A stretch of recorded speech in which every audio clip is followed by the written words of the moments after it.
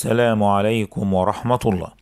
وصول حركة طالبان إلى الحكم وعودتهم إلى حكم أفغانستان بهذه الطريقة التي تبدو أنها سهلة وسريعة ومفيش حد قادر يقف قصادهم والعالم الغربي في حالة من الصمت بل من الممكن أن نقول إن العالم الغربي في حالة من التأييد لوصول طالبان إلى الحكم وتغير في وجهات النظر بعدما كانت طالبان حركة إرهابية.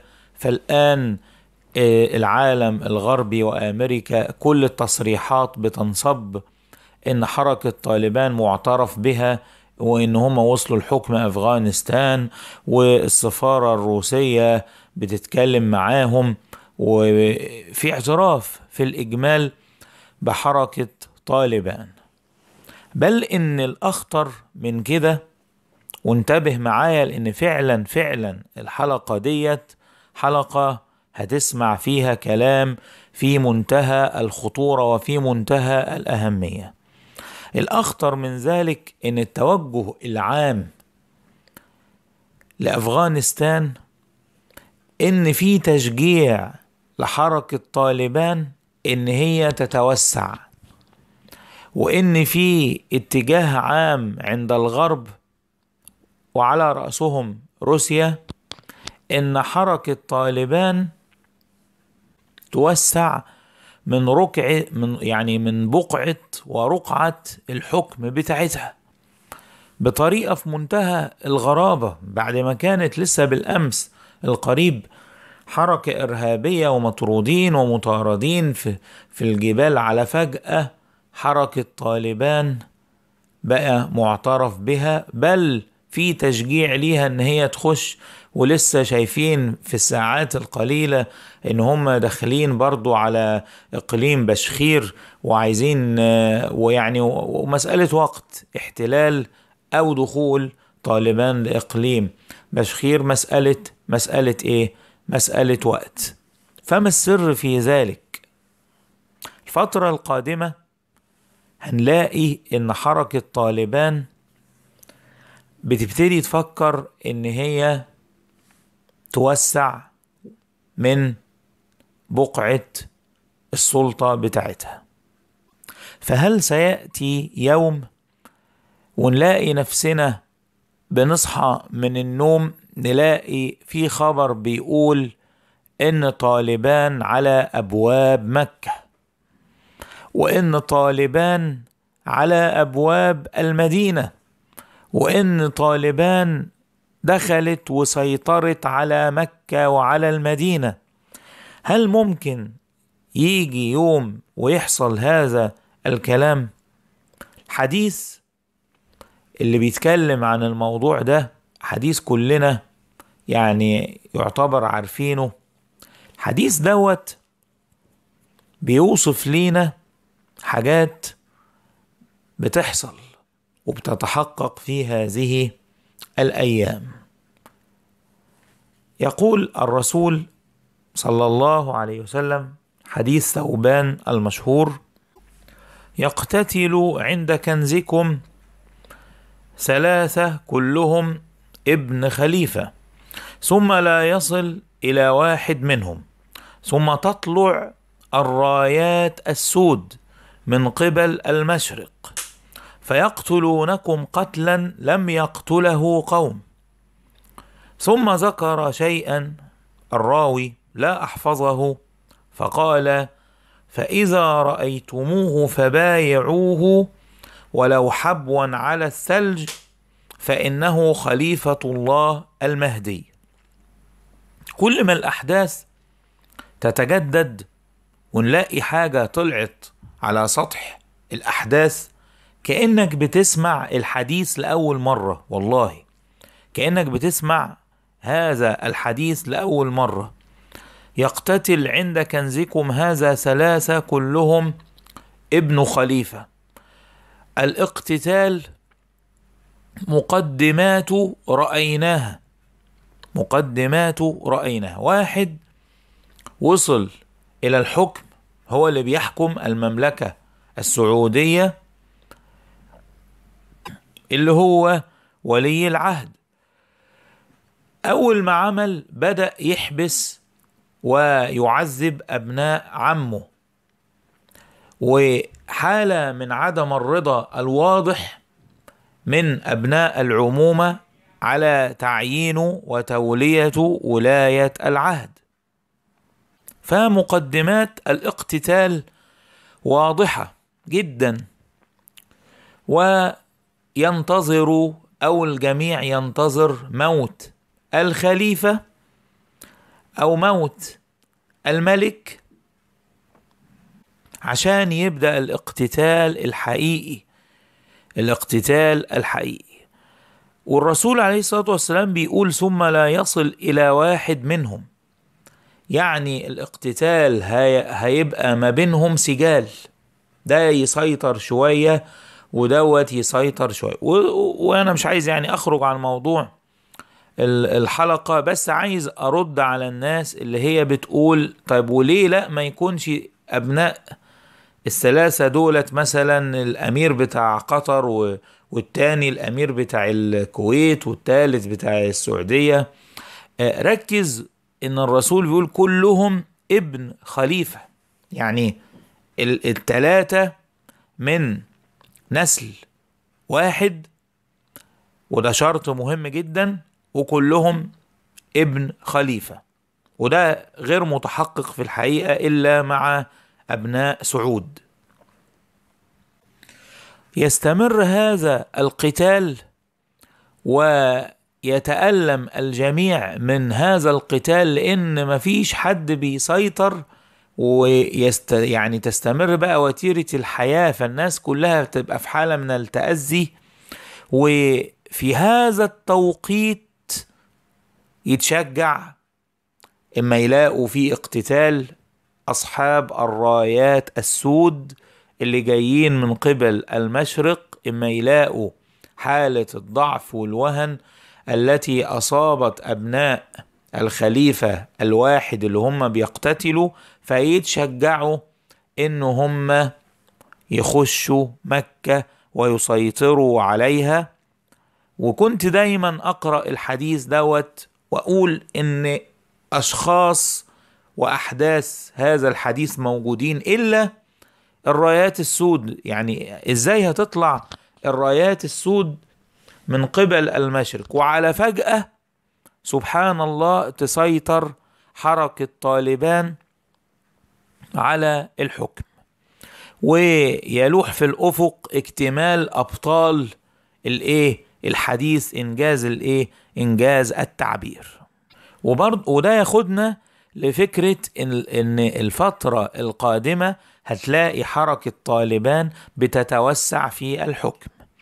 وهتلاقي إن حركة طالبان سيطرة كاملة على أفغانستان وخد بقى المفاجأة اللي أكبر من كده وهتلاقي الناس الدول اللي حوالين أفغانستان هيبتدوا يبيعوا حركة طالبان والولاء كله هيبقى لحركة طالبان. يعني ممكن تلاقي دولة كبيرة زي دولة باكستان إن حركة طالبان مسيطرة عليها ولو بطريقة غير مباشرة وممكن يسيطروا عليها سيطرة واضحة ومباشرة. ما تعرفش يعني الأحداث هتبقى ماشية في أن اتجاه ولكن الواضح إن حركة طالبان في صعود وبتقوى يوم بعد إيه؟ بعد يوم. ده اللي إحنا شايفينه. والحديث لو تلاحظ بيقول فيقتلونكم فيقتلونكم. ما قالش فيقتلوا التلت التلاتة اللي كلهم أبناء خليفة ويريحونا منهم. لا فيقتلونكم. يعني مين؟ يعني الناس سكان مكة وسكان المدينة مش عارفين فيقتلونكم قتلا لم يقتله قوم.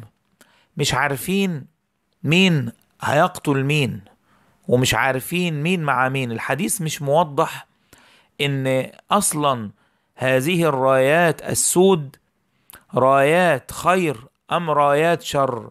هذا الحديث لم يوضح للأمانة العلمية إن الرايات السود هتبقى رايات رايات خير أم رايات شر؟ خد بالك برضو عشان في ناس مفكرة إن إن الرايات إما إحنا بنقول طالبان آه، ممكن تبقى الرايات السود وتطلع من المشرق وتروح تسيطر على مكة.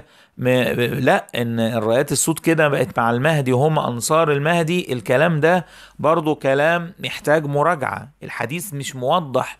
الرايات السود دولت هيبقوا مع المهدي ولا مش هيبقوا مع المهدي. بس الواضح من تجميعة الأحاديث إن الرايات السود هيحدث بينهم انقسام.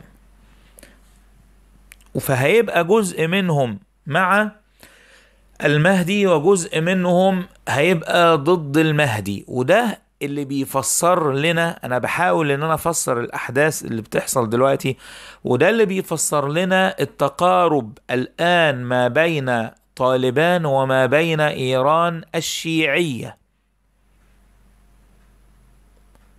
موضوع برضو ربط برضو مهم جدا في في المسألة ديت. إيران شيعية وحركة طالبان بدأت إن هي تتقارب مع اوعى تتسرع في الحكم وتقول تبقى كده إيران شيعية.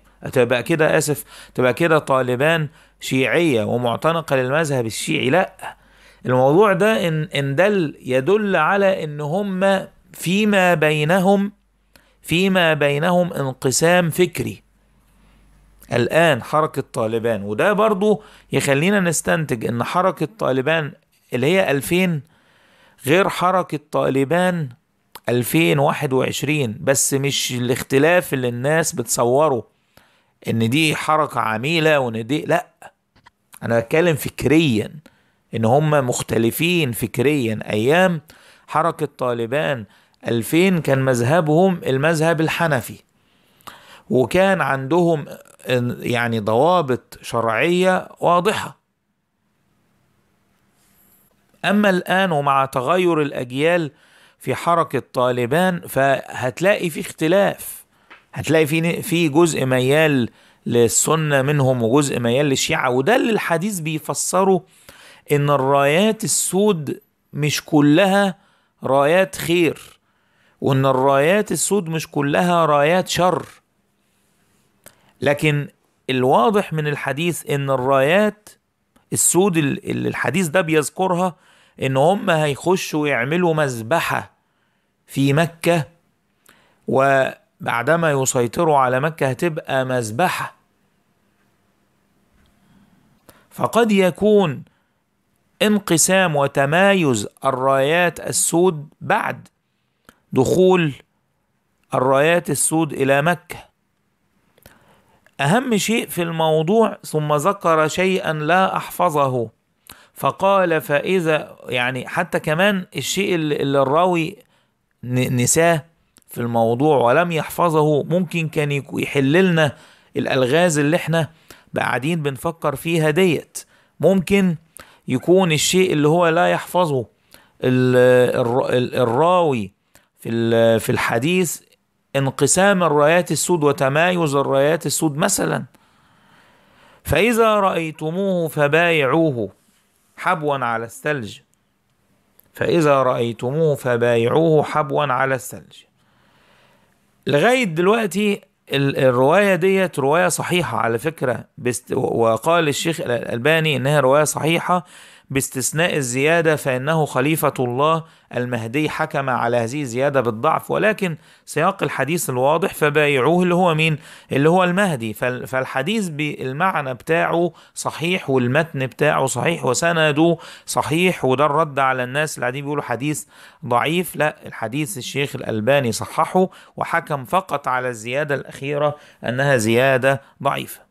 إذا الأحداث اللي اللي, اللي حاصلة هذه الفترة بتبين بوضوح جدا جدا أن المهدي قد اقترب ظهوره بشدة وإن إحنا في أيام الظهور بشدة جدا. الموضوع اقترب جدا جدا جدا. كل ال ال ال يعني أبطال الأحداث اللي ذكروا في هذا الحديث موجودين وعلى وشك أن يتحقق الأمر. يعني مسألة دخول الرايات السود إلى إلى مكة مسألة وقت ليس أكثر. يعني مش عايز إن أنا أطول عليكم يعني أكتر من كده. وقول لنا رأيك في الموضوع لا تنسى تسجيل الإعجاب وإبداء رأيك. شارك معنا برأيك في هذا الموضوع. ويعني إن شاء الله غدا بإذن الله هنتكلم في موضوع أيضا يتعلق بأيام الظهور وانتظروا بإذن الله حلقة إن شاء الله تكون في منتهى الأهمية. بارك الله فيكم وجزاكم الله خير